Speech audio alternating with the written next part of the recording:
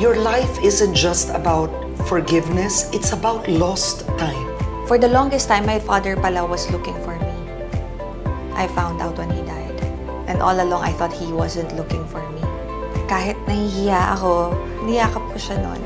Nasa hospital siya. Tapos, ano, umiyak na lang ako. Tapos, sorry ako ng sorry sa kanya. Ikaw Sakto. nag-sorry. Mm-mm. It was so timely when I did that. Kasi day, day in, day out lang ako sa Zamboanga. I left. Pag land ng Manila, I received the message, wala na daw. So parang nagpaalam lang talaga